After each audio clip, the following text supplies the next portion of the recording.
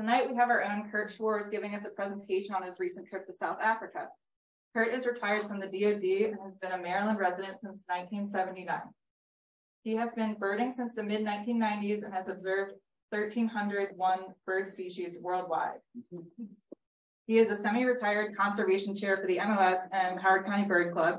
He was the conservation chair for the Bird Club for eighteen years. Wow. Um, he's a former president of the Bird Club and he has led countless field trips and presented programs over the years. So thank you, Kurt, and we're looking forward to your talk. Okay, here goes nothing. Uh, good evening, everybody. Uh, thanks for letting me, uh, present. Can we do something about the lights, Yes. please? All right, there, we're shared. Very good. Okay, well, except there, oh, there we go. Okay, well, uh, if you go to Africa to look for birds, unfortunately, there are all these pesky megafauna running around too. Uh, this was uh, an elephant we encountered on one of our game drives and, uh, needless to say, uh, he had the right of way. Unfortunately, the driver of our vehicle did know how to find reverse, and we did back up quite a distance before the elephant turned to the side and started munching away on the vegetation. Uh, the trip was September twenty-sixth through October tenth, uh, twenty twenty-three. Uh, we flew direct from Newark Airport to Johannesburg. Twenty twenty-two. That's in the future. That's. Twenty twenty-two. That's fall. Um, I need to edit that. Yes, I'm sorry. My traveling. I don't know where the hell I am on the space-time continuum. I'm sorry. Yeah, I'm always confused. Uh, but it was, it was a direct flight from Newark to uh, Johannesburg. It involved a really bizarre arrangement of driving up to Doylestown, Pennsylvania, getting a driver to take us to the Newark airport, et cetera, et cetera, et cetera. But we did have a direct flight, which uh, was uh, fifteen hours. And uh, uh, we, we sprang for business class, so we did have full reclining, so we actually managed to sleep on the flight. Uh, we flew into Johannesburg and then immediately up to Sabi Sands Game Reserve, uh, for four, ga- for four nights, then to uh, you want to pronounce that Finda, but they all pronounce it Pinda Game Reserve for another four nights. Uh, several nights in Cape Town, then to Franschhoek, which is in the wine region of South Africa. They actually make some pretty decent wine in South Africa. And then, uh, uh, on the last morning, we had a, a trip out to Robben Island. Uh, two hundred and eight, uh, total bird species, hundred and eighty-nine were live birds. Uh, I managed to get photos of hundred and thirty-two and audio recordings of an additional four. Uh, the first, uh, night, uh, we spent there, I woke up in the middle of the night, go to the bathroom, there's a bird singing out there already. It turned out to be something called a courage, Kurrichane thrush. Uh, something very much like a robin, and they're up at three, four o'clock in the morning singing already. I did not get a picture of one. Uh, as soon as it was light, I was out wandering around the grounds and the first bird I got a picture of was a collared dove. This is an African collared dove, slightly different or a different species from the Eurasian collared dove, the dove that we get here in North America and certainly throughout Eurasia. I think the primary distinguishing characteristic is a contrasting white belly on the African collared dove, which the Eurasian one lacks. Uh, then there are also some other very colorful pigeons, this called, called the Rameron. And then here we have another thing rather not unlike our, our robins, the car, Karoo thrush. Again, these are all in the hotel grounds, which was somewhere out on the fringes of Johannesburg. And then Cape Sparrow, this is a relative of- to the house sparrow that we all know, uh, genus passer, whatever. Uh, lighting obviously was not real great that morning. And then we got on an airplane from Johannes, or excuse me, uh, from the Johannesburg airport up to a place called Skuza. This is the airport that serves Kruger National Park. Uh, we did not go to Kruger. But it's also, uh, where our access to, uh, Sabi Sands Game Reserve is where, where we picked this up. And that is my wife, uh, Patsy there on the right. And on the drive into the camp, oh boy, giraffe. So- It's a nice, uh, nice, nice things to see by the side of the road as you're driving to, uh, to, to your game camp.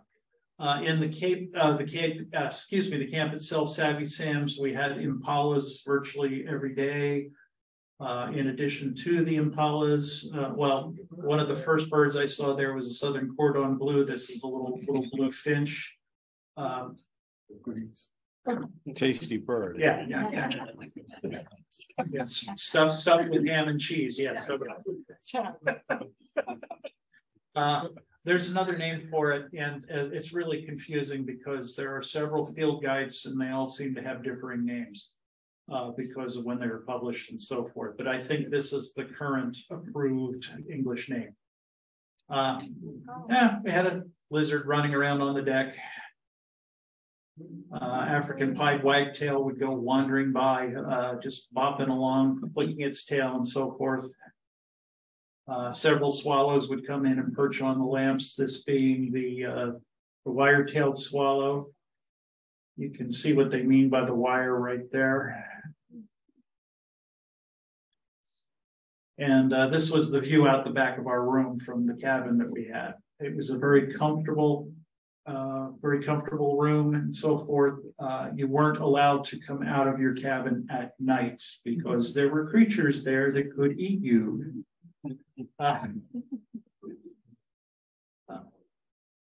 Uh, another one of the, the creatures that we had wandering around in camp was this larger antelope called the Nyala. This is the female. Uh, there's me just There's the male. posing. Yes. Uh, they have better starlings than we do. Uh, This being the greater blue-eared starling. And these are birds that we just saw like from the deck or, or from the, from the porch where we dined typically. Uh, there was a really big tortoise running around at one point. And then this is the male Nyala, again with the vertical white stripes like you saw in the female, but much darker and just sort of a, a mane or whatever you want to call it. Some pretty darn big horns. Uh, this woodpecker was, was excavating a hole right up, uh, basically on, on the porch area where we had, where we dined. Provided lots of entertainment.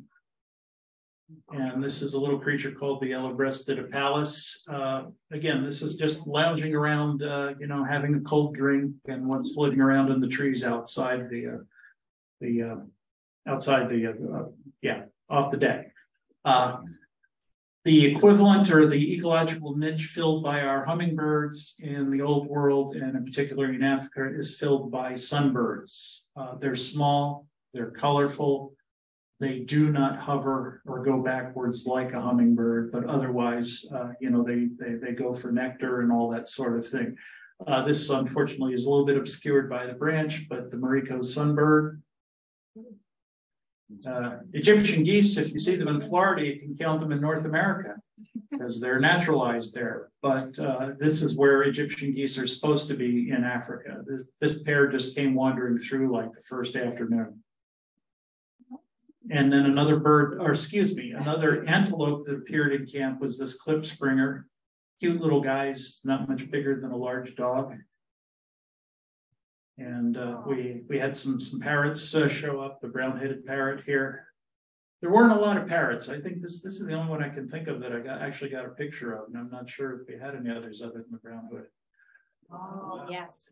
This is the southern yellow-billed hornbill, which one of our guides or one of our tractors named Lennox referred to as the flying banana. Here's another one of the nice-looking starlings. Uh, what we would typically do is uh, in the afternoon, uh, when we first got there, we went for a game drive of several hours. Uh, we had dinner, spent the night, got up the next morning, had a little bite to eat, then go out on a morning game drive. After about two hours of that, they pull over and get out the hot chocolate uh, and coffee. And uh, yes, sometimes, or uh, there, was uh, some alcohol that they would spike, spike the hot chocolate with. Uh, and then we drive around for another couple of hours, then go back and have breakfast. Uh, then we mostly had downtime in the afternoon, then an afternoon game drive where at sundown they pull over, set up the bar, gins and tonic, et cetera, et cetera, et cetera. Uh, there is a lic- liqueur there called Amarula, uh, that comes from the Amarula tree and so forth. It's, uh, quite tasty. And, uh, will, uh, re- really spice up your, your hot chocolate, okay? But another nice starling. And then here we have the southern red bill hornbill, which Lennox referred to as the flying chili pepper. And no, Lennox was not our tracker there. I, I can't remember what the, the fellow's name was. Lennox was the guy we had in, in Okay, I'm sorry about that. Uh, you see a few wildebeest running around. Now, interestingly enough, you know, all, you know, you've all seen the things of the, like Serengeti and stuff like that, and hordes and hordes of wildebeest and zebras and stuff like that. We never saw big herds of much of anything. Uh, it's onesies and twosies and maybe a small group to include the wildebeest. Uh, this is the lilac breasted roller, perhaps one of the best known African birds. Uh, they're quite colorful. Uh, I've got several photos of these guys. Here we have another one of the sunbirds, the white breasted. And then here's another hornbill. Uh, hornbills basically fill the same niche in the old world that toucans do in the new, new world. Uh, they're. I've lost my cash. I'm sorry. Uh, uh, they're big, uh, they eat a lot of fruit and so forth, and, uh. So this one's not quite as colorful as the other two. And then here's the crested barbet, uh, I guess it's the only one we saw the whole time, but, uh, he, this one posed very nicely, I think. We encountered African hunting dogs every day when we were at Sabi Sands. Uh, we were told that we would be very lucky to see them, and boy, did we see them, and we saw them well in large packs. And uh, uh, you'll see, you'll see an example a little further along. Ah, another giraffe. Oh hum. There's a bird on his back. See? Is there? Yeah, yeah, probably an oxpecker, yeah. Right there. The wildebeest found. Did it? Okay. I gotta look at these pictures closer. There maybe it's, it's, is it, is it, is it an oxpecker? It's not. Uh, yeah, it could be. You never know. Uh, uh, here we have a Swainson's francolin, little chicken-like birds. Uh, these were running around, you know, like in the dirt roads and stuff like that.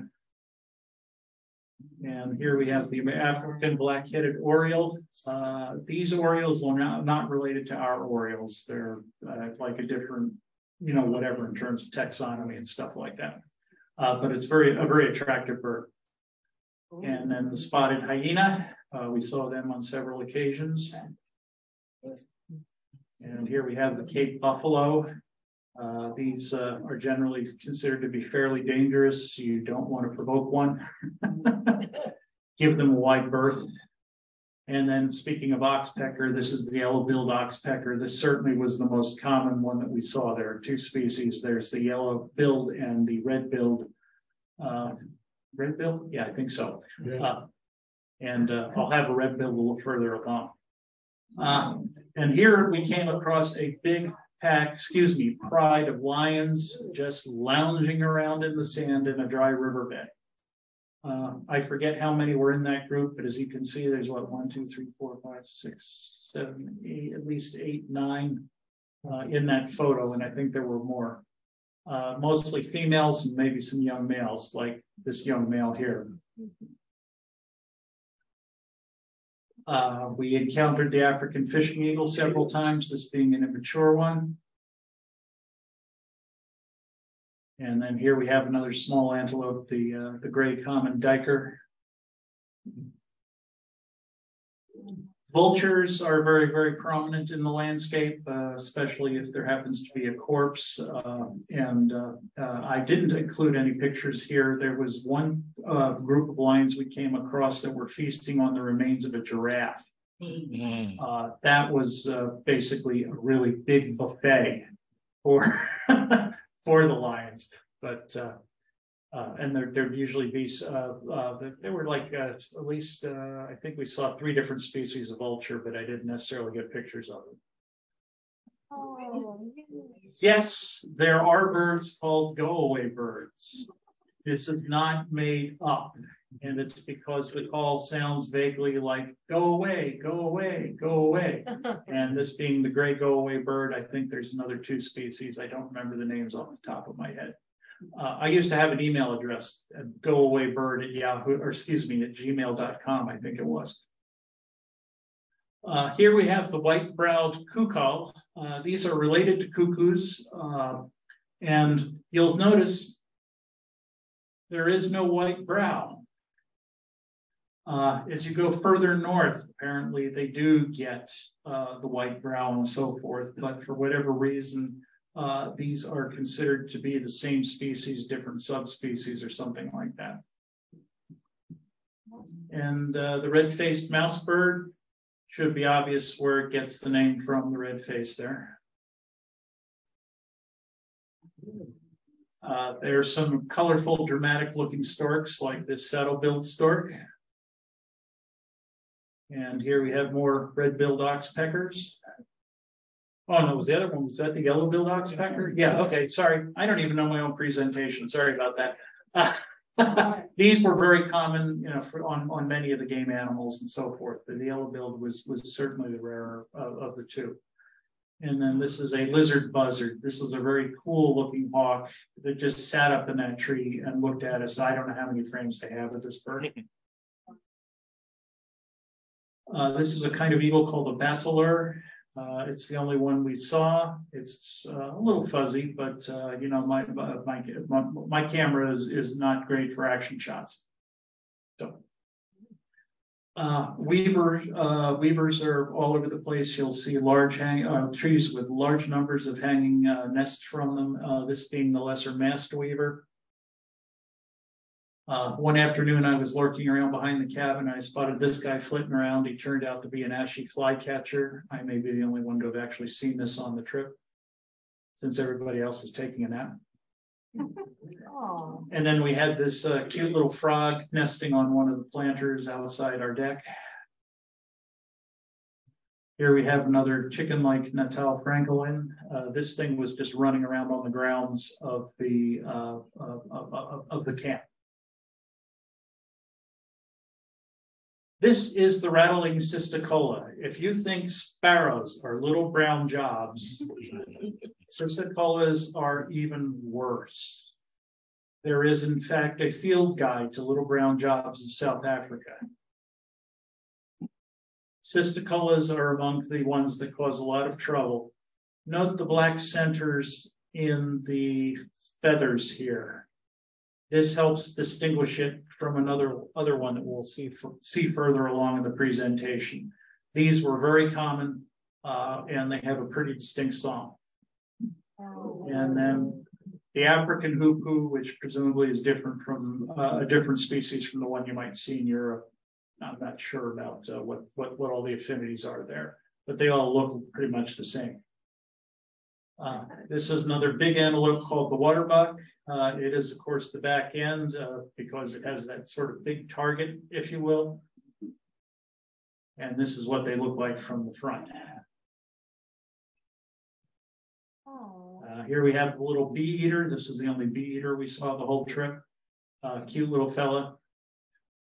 And then puppies, uh, the, uh, the, Af- excuse me, the, uh, the African hunting dog puppies. Uh, they're basically, they, they, they keep them all together like in communal groups and leave one or two adults to watch. Uh, while the, the rest of the pack goes off and hunts and so forth.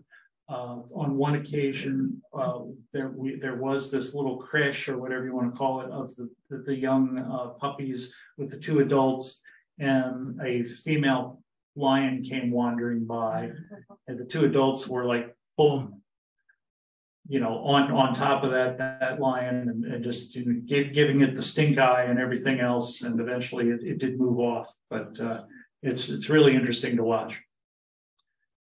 Uh, this we only discovered later when the, the, leader said to me, Hey, you remember that one woodpecker? Uh, that turns out that wasn't a cardinal or whatever the heck it was. That was a Bennett's woodpecker. So uh, this is a little different from the cardinal woodpecker that we saw earlier on.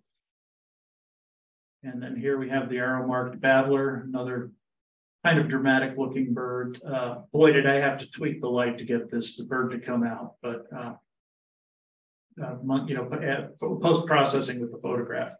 Uh, here we have another African hunting dog and uh, the very colorful African pi- uh, pygmy uh, kingfisher. This is all still stuff that we saw at Sabi Sands. So four nights, uh, four days of game drives, so forth. Uh, the uh, the laughing dove, which I guess sounds like it's laughing. Remember that cisticola with the dark centers and the feathers? This one doesn't have it. This is the red face. There is a little bit of red here. Uh. Uh, the common bulbul turned out to be pretty common. Uh, we saw that in several locations. And here we have the white-throated robin chat. Pretty colorful bird. Brown snake eagle, looking pretty wild-eyed, I think. And then there are ground hornbills, this being the southern. I don't know if there's a, nor- a northern or not, but uh, in any case, uh, yes, they run around on the ground, whereas the other hornbills tend to be flying around up in the trees and on the ground and so forth. This is a much bigger bird than those other hornbills we saw. And then we were entertained by a, a leopard cub at one point, or several times actually. Uh, very, uh, very uh, unconcerned apparently by our presence. And uh, we don't know where mom- mommy was. Uh, this is the Wahlberg's eagle. There were a lot of eagles. And then here we have a nice adult male lion. This might have been the group that was munching on the giraffe. I, don't remember, but uh, the uh, golden breasted bunting wasn't pointed the right way when I found, I got the photograph, unfortunately, but uh, you can can see a little yellow on the breast here. And then we have green vervet monkeys. We saw them several times. Uh, this being a youngster, uh, you can see daddy's junk there. Uh, sorry. uh, this is another one of the more dramatic sunbirds, uh, the scarlet chested. And this is a female amethyst hummingbird, excuse me, sunbird. Uh, this unfortunate bird apparently bounced off the glass and was sitting there stunned for some time. Uh, we never did see a male, so I, I assume with a name like amethyst, they're probably kind of purple. But uh, I got a good photo. and there I am with Patsy uh, with giraffes in the background and very messy hair. Uh, another antelope called the bush buck. Again, we're still at Sabi Sands. And then here we have an adult African fish eagle, big, dramatic, you know, the size of our bald eagle. Uh, they, I, they may even be the same genus. I'm not absolutely positive. I'd have to look into that. Uh, here we have the three-banded plover, uh, three-banded plover, uh, a lot more uh, interesting, I think, than a killdeer. Check out the, the yellow skin around the eye here, the kind of yellow bit, or excuse me, red bill. Uh, there is, there are three bands on, on the breast. And this is the yellow-billed stork, uh, which was perched right next to, did I have that slide there? Yep, right, right next to a gray heron. These things are almost a carbon copy of the great blue that you know. Uh, but uh, they are different species. Uh, it lacks the uh, the the red thighs of the uh, the great blue. Uh, the throat tends to be a good deal wider than the great blue. Uh, and there are other subtle differences that I don't get, but we don't see too many of these wandering to our side of the Atlantic. Uh, they, I think a few have turned up in places like Nova Scotia and places like that, but uh, in the lower 48, I don't know if they have too many records for gray heron. And this uh, this is this this is our group. Uh, pretty much uh, the last morning. Uh, behind you have big Toyota open top vehicle. It's a three decker and they're tiered. Uh, you have the driver sitting here. Uh, you'll have a guy sitting on the left fender, the tracker. And uh, he will hopefully spot tracks or game or something like that. When we were at Pinda, the guy there actually spotted the only black rhino, which we'll see a little bit later along in the show. Uh, that we saw the entire trip, and that that that critter had to be two miles away on the other side of the valley. And how he saw it, I don't know. But uh, this is this is our group. Uh, here we have uh, one of the staff with the thing. Uh, let's see. Uh, he was our driver. He was our tracker. Uh, their names escape me. Mark Abdi. He is a member of the Washington Bird Club, and he was actually sort of the leader. I don't see Heather in there. That's his wife. There's Patsy there. me, and so on. But uh, very nice day. Okay, last game drive, I think. Uh, here's the Tawny Eagle. Yet another sunbird, the white breasted. And then we finally went to Pinda, which was, uh, did we drive or? Yeah, I guess, no, no, no, actually, I think we took a flight. Uh, yeah, that was the charter flight that we had to take from Scusa to uh, wherever the heck the other other airfield was. And uh, there we uh, we encountered quite a few rhinos to include this baby right, white rhino. With the horn taken off? The horns are taken off. So, uh, as as you may or may not know, uh, there's a lot of poaching going on, and uh, the horn is a uh, hot commodity in certain cultures.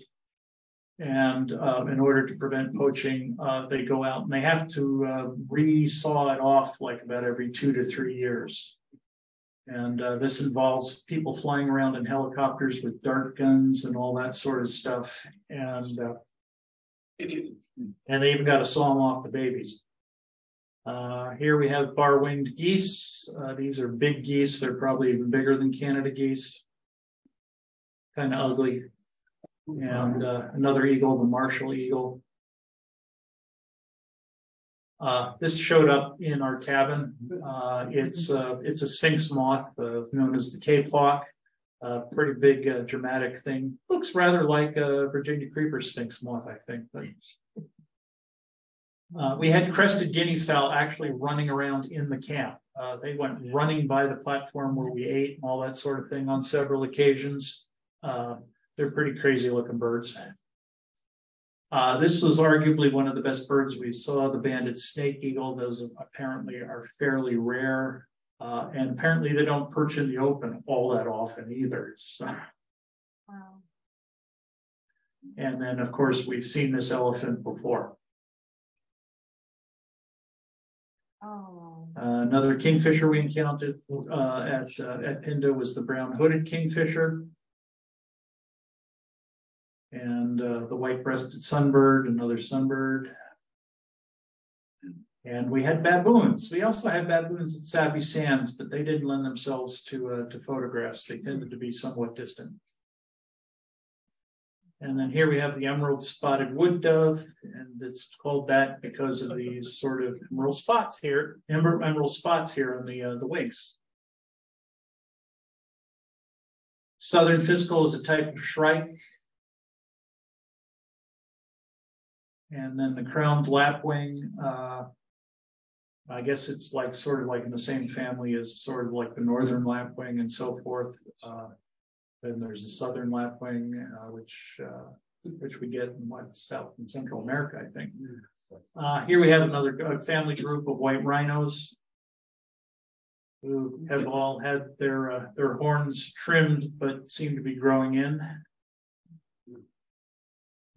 And it was a Pinda we finally came across cheetah, and we saw them on several occasions. This being a nice, uh, I think it was a female that we tracked for a while.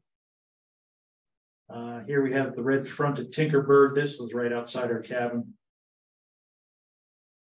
And uh, yet another chicken, the crested francolin. A baby zebra. I mean, you can't fix cute, right? yellow fronted canary. Uh, these are called water thick-knees. Uh, they do have fairly fat knees, hence the name. And here's the wattled thick-knee. It does have little wattles hanging off the, uh, and hence the name. Uh, here we have one of the weavers, uh, uh, nest, uh, conglomerations. I don't remember which species this was. I managed to get the one hippo that didn't have teeth.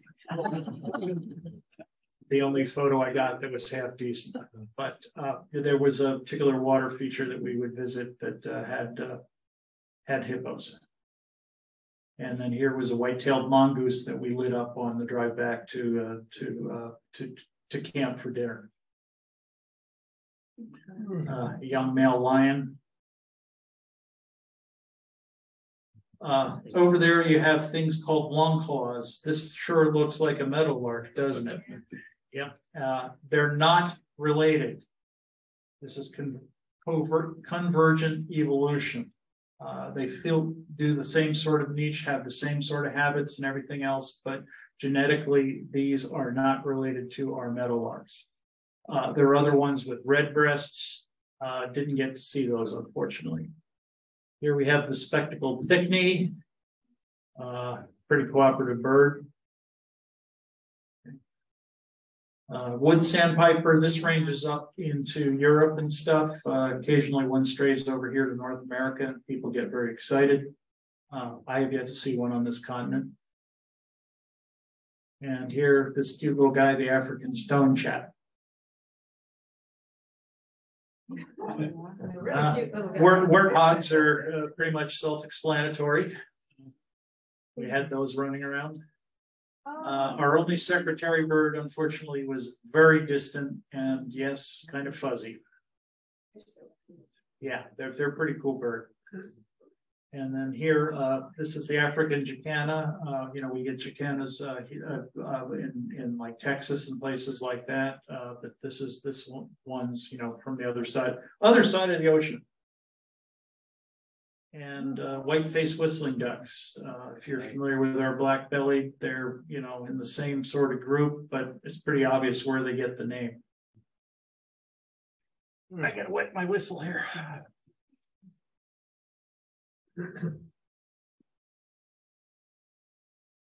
Ah, Thank you.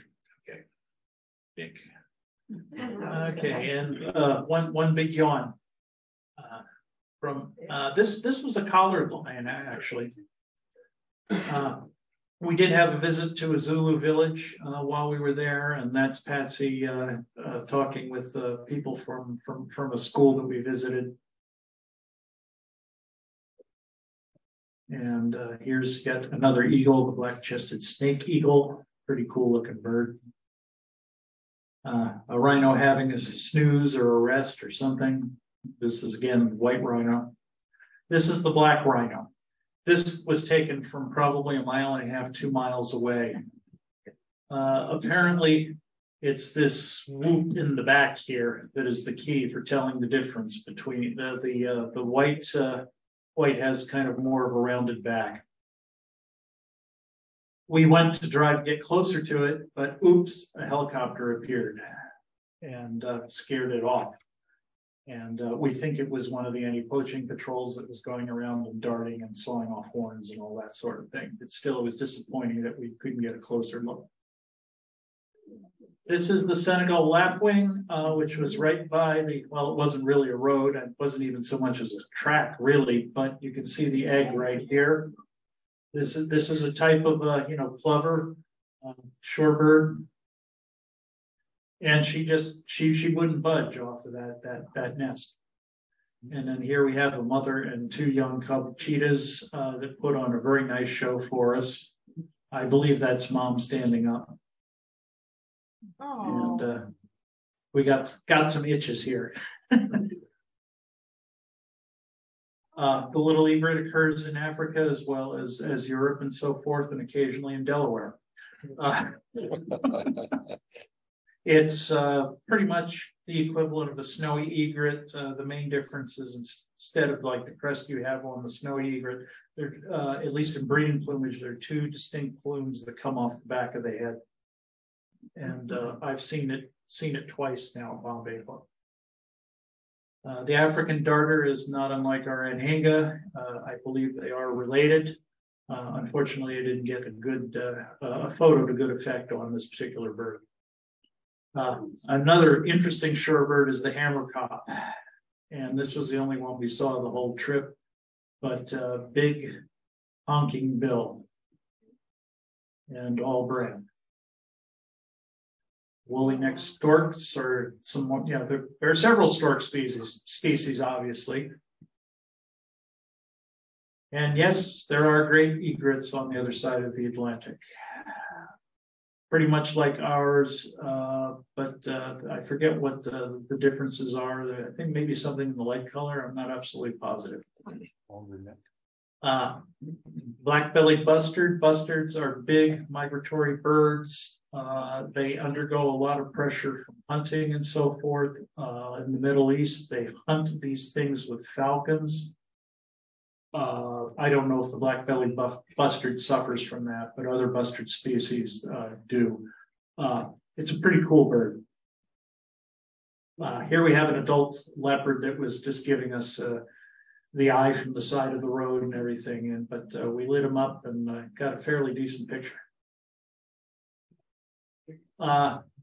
At one point when I was walking around, I thought I had a stick or a burr or something in my boot, and it was right at the top of my ankle. And so, you know, whatever. And finally, I get back to the room, pull it off. This tick was going through two layers of sock, Oh, my God. and it hurt. And so far, at least, I have not come down with any weird African diseases. Knock Uh, wood. it may be something called an African Bont B O N T tick. Uh, I'm still waiting for confirmation on my naturalist. Uh, one of the attractions to Phinda is this trogon, the Narina trogon. It has a bright red breast. Unfortunately, it just didn't show to especially good advantage. And, uh, here we have the bearded scrub robin. Pretty cool looking bird. Uh, yet another starling, uh, a little better than our starlings, black bellied starling, although it looks more like red here, doesn't it? Uh, everybody knows what honey guides are. They are birds that like to eat honey and bees and stuff like that. And, uh, they have been known to guide humans to those to better access the hives and so forth. And uh, this was one that Mark was very excited to see. He apparently had not seen one of these before, the African broadbill. Uh, it took me a long time to get on the bird. It wasn't all that far away, but uh, you know, normally uh, if you try and direct me to a bird, I, I I'm terrible at it. but eventually, I did get on it, and it just sat there and uh, posed for some good pictures. From here, we went to Cape Town. This is uh, outside of Cape Town, uh, heading up towards Table Mountain.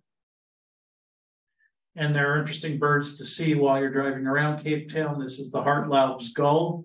Uh, you can see this flying around uh, uh, around Cape Town Harbor as well. Uh, we had uh, more chicken-like birds, the Cape Francolin. Uh, the only eland we saw the whole trip was while we were in the Cape Town area.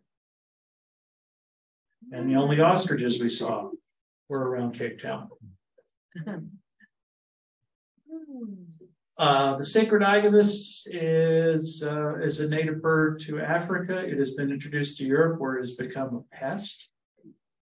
Uh, but, uh, it's white with a black head. Uh, there's a, a cormorant to the left there. Uh, I don't remember which one that is. They have all black oyster catchers. The African oyster catcher. And then here we have a whole bunch of Cape cormorants. They, they're very abundant. And we went to the, excuse me, Boulders Penguin Colony, which had lots of penguins, African penguins. Here we have a relatively young one looking for attention. And then here we have an adult sitting on an egg. Uh, just about every place we went, we saw Hadada ibis. Uh, unfortunately, I just really didn't get a decent picture until we got to Cape Town, apparently. Uh, these are very widespread in South Africa, very noisy. Uh, here we have the red winged starling, again, a rather nicer looking starling. This seems to be pretty much uh, confined to the immediate Cape area, as near as I can tell. And uh, then there were crested terns flying by, sort of like uh, like our maybe royal tern, except with the yellow bill. Uh, here is the cable car that goes up to the top of Table Mountain, which is some like some eleven hundred feet. And I got onto that cable car and I was in stark abject terror, clutching white knuckle to the railing. It seems that I have a fear of heights. And I spent the whole time cowering in the cafe up at the top of Table Mountain. So uh, Mark and, and Heather went out and saw an orange breasted sunbird, which is a bird I missed, and I just uh, I just couldn't I couldn't move. Uh, I've since been to my head shrinker, and I think we more or less maybe have corrected that, but that's another story. Uh, here we are at the top, top of Table Mountain. That's Patsy looking very cold. Uh, that, of course, is the bay out there. And uh, just when we got down to more solid ground, uh, there was the, oh, no, no, no, this is when we went to, uh, to, uh, to, to uh, Stellenbosch uh, Botanical Gardens, which is just outside of, of, of, of Cape Town, where we encountered the Cape Canary. The southern double-collared sunbird. The Cape robin chat. Olive thrush, this is another one of those kind of like a robin, genus Turdus, T U R D U S, which sounds kind of naughty or scatological or something. And uh, uh, the Karoo prinia, uh, this was an elusive bird, but I did manage to capture or get a picture of it. And the spotted eagle owl is apparently is a famous resident of Stellenbosch. This is the head right here. He's being obscured by a rock. There's the bill, ear, ear, eye. Big, you know, great horned owl size, maybe bigger. Really cool bird. Uh, the Cape sugar birds are one of the big attractions of Stellenbosch. Uh, this is the tail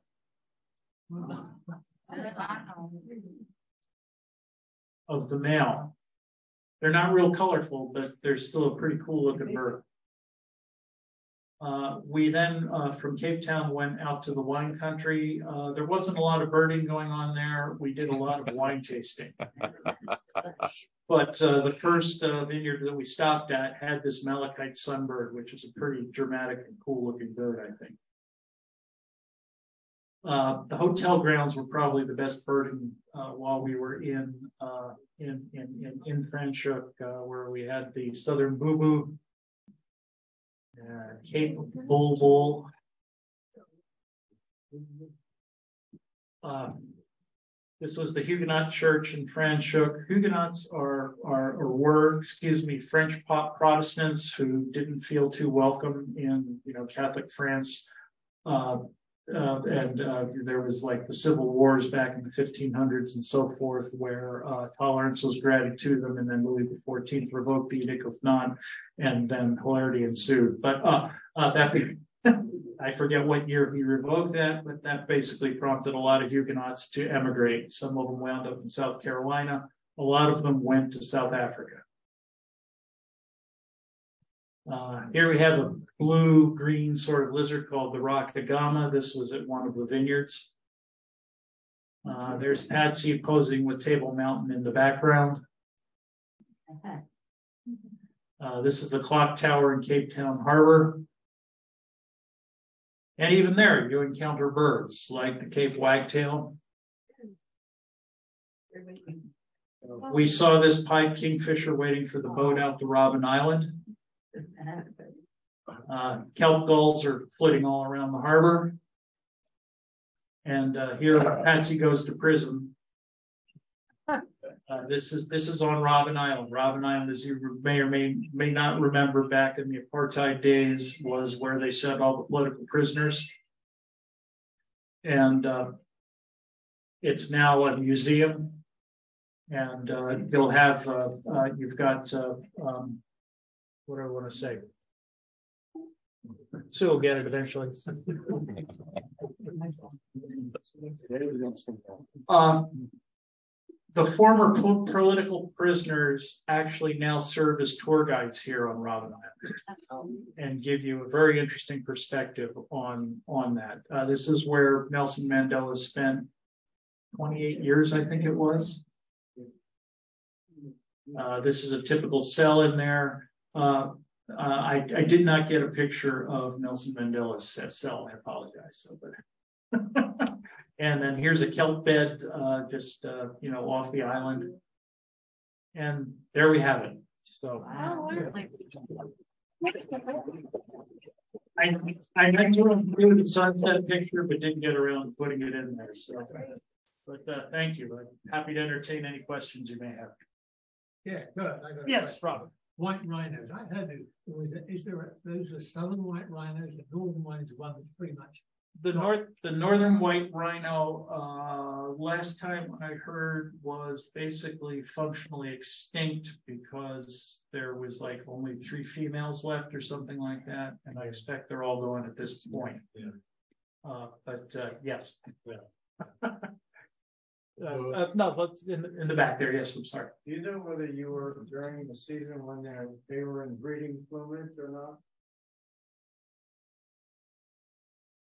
It was very I'm not, colorful. I'm not, I'm not real, real, real, real knowledgeable on seasonality, you know, and, and birds and the plumage of, of South Africa, so I really don't know the answer to that. Um, Probably would have been there more in the springtime. yeah, yeah, but, uh, you know, if, if, but if you, you look in the field guides and everything else, you generally don't see, you know, like in some bars, you'll see the.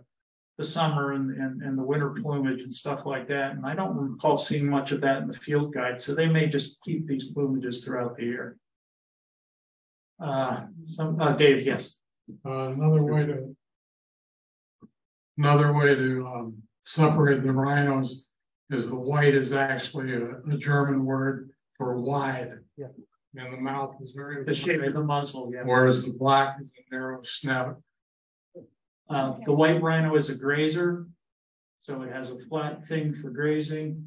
The black rhino is a browser, so it has the long prehensile lips for plucking nummy stuff. We all asleep now? Yes, Jeff?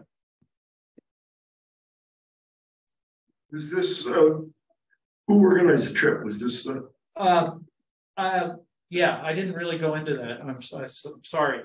Uh, Mark Abdiat, who I had mentioned earlier, uh, he works with something, uh, with an entity in Stamford, Connecticut called African Portfolios.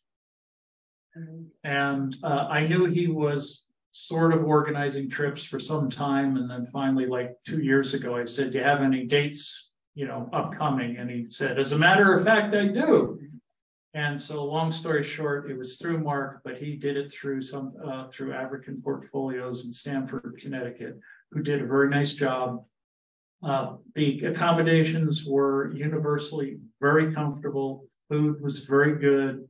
If you're into exotic game, you'll get lots of opportunities.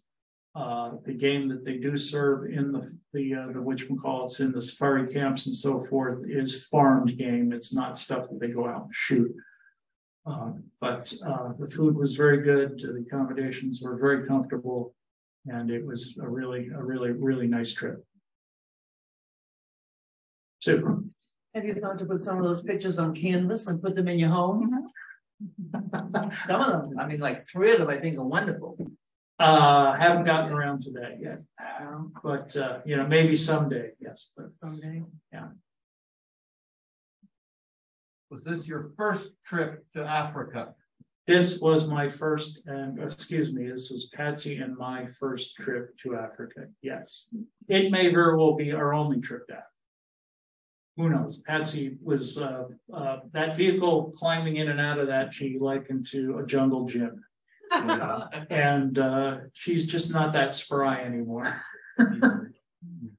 Okay, yes, Rob. Good, did you feel safe? Uh, Yes, Yeah. Okay, yeah, Yeah. I hear a lot about South Africa, tremendous crime, but you were kept. The, uh, uh, Johannesburg apparently is notorious for that. We flew into the airport and they took us out of Johannesburg to a hotel. I don't know where the hell it was. And it was an enclosed, in a community, it was an enclosed compound and so forth. Uh, yes, there are lots of walls with barbed wire on top of them and all that sort of thing in the urban areas. Uh, but for whatever reason, we were kept out of that. Uh, when we were in Cape Town, we were specifically enjoined not to go down something street. I don't remember what it was. They said, you go down there, you're gonna get in trouble. And so we all stayed the heck out of that particular street, uh, street, but, uh, no, we, we, we, we never felt, uh, any real danger. Uh, now, you know, you're in these open top vehicles and the lion is like. But for whatever reason, uh, they, they apparently are, are, are very, very conditioned and they don't lose too, too many tourists to. To, uh, to, now, now the elephant was, that, that, that elephant coming down the road was, was interesting because, I mean, he came down the road, uh, he, he, he- he had the right of way. You know, and, and we, we certainly weren't going to contest that, and, uh, we, we did, we did go into reverse for, for, for several yards before. Uh, it, it found something else to occupy its attention and, uh, and so on, but, uh, yeah, it was, uh, a first, uh, first, first trip to Africa, yeah. Uh, I'd be, I'd certainly be interested in, you know, Botswana or Kenya or something like that. Or, you know, what, there, there's apparently some very interesting stuff in West Africa too. So much time, but only so much money and, uh, much time. How long were you over there? uh, it was, uh, so about two and a half weeks, I think. Uh, I, yeah, can we put the thing up that has the dates on it? Yeah, it was, it was about two and a half weeks and, uh, it was, was, uh. And then we flew, uh, flew direct from, uh, from, from, from Cape Town. To, uh, to, to Newark. Uh, we, the official trip actually ended a day, uh, before. Uh, we actually left, we added an extra day. And uh, we managed to get the uh, workouts, the trip to Robben Island on, on our last morning. Our flight wasn't until something like five in the afternoon. And so on, and uh, and and and and getting a trip out to Robben Island is kind of a dicey thing because weather apparently is is frequently an issue. And uh, in fact, Mark, you know, has, has I don't know how many trips to South Africa, and he said he used to try and book a trip to Robben, book trips to Robben Island on these, but it always got canceled for weather and he's just given up on trying to do it. And we were, we, we were lucky, we were, we were blessed with, uh, with, with some good weather. And, uh, and there were birds out on Robben Island too. We saw sacred ibis and, uh, we thought there were a couple of penguins, uh, several cormorants. Uh, Sacred ibis flying around, uh, uh, there was, uh, a pigeon or two. Okay, is everybody asleep now?